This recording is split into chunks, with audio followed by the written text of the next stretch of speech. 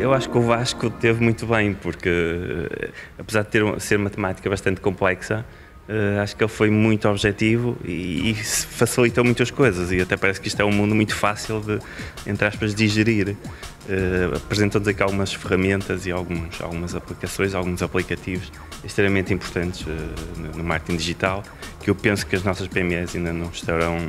muito preparadas para, para, para a guerra, para a revolução que aí vem a nível digital, mas acho que o Vasco apresentou isto de uma forma tão, tão parece tão simples, tão acessível, uh, que, que foi, foi bastante, bastante interessante, bastante apelativo.